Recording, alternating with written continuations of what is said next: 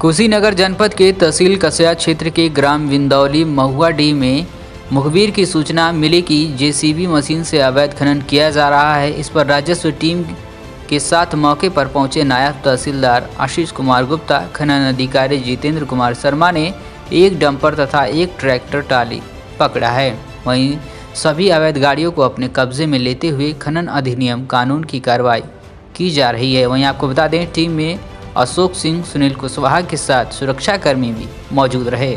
इस वीडियो को लाइक करें, हमारे चैनल को सब्सक्राइब करें।